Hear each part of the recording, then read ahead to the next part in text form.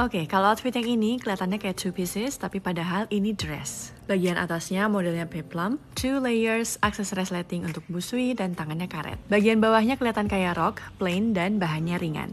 Dress ini dari Sally Store.